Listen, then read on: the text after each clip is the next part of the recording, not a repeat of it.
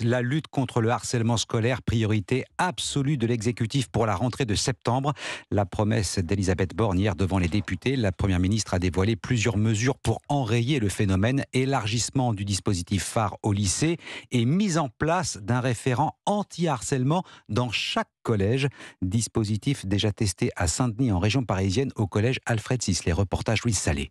Des jeunes filles qui allaient au parc, euh, qui étaient filmées euh, en compagnie de garçons sur des moments euh, intimes, diffusés sur les réseaux sociaux. On avait peut-être une vingtaine de jeunes filles qui étaient en difficulté. Le principal Yannick Porte raconte tristement cette histoire vieille de quelques années, mais depuis la rentrée, un médiateur collabore avec 26 élèves sentinelles répartis dans les classes. Ils se réunissent régulièrement pour discuter de situations de violence et seuls les adultes peuvent ensuite intervenir. Une méthode qui porte ses fruits. On a divisé à peu près par trois le nombre de conseils de discipline. Récemment, une élève a essuyé et des insultes homophobes. Mélissa, sentinelle en cinquième, a alerté sur son cas. Elle est différente. On a fait un goûter et euh, elle a ramené un gâteau. Personne ne voulait le manger, mais euh, une fois, elle a voulu euh, se suicider parce que personne l'aimait. Elle n'avait pas d'amis à ce moment-là. À 14 ans, Sadio est fier d'endosser cette responsabilité de sentinelle. C'est plutôt mal vu d'aller voir quelqu'un et demander de l'aide. Et du coup, c'est à ça que ça sert les sentinelles? Oui, c'est comme si tu te confies à ton ami parce que les sentinelles, on est les amis de tout le monde. Dans le département de la Seine-Saint-Denis, 15% des collèges ont adopté ce. Reportage Louise Salé. J'ajoute que Brigitte Macron doit recevoir tout à l'heure la famille de l'INSEE. Cette collégienne de 13 ans s'est suicidée après avoir été harcelée pendant plusieurs mois par des élèves.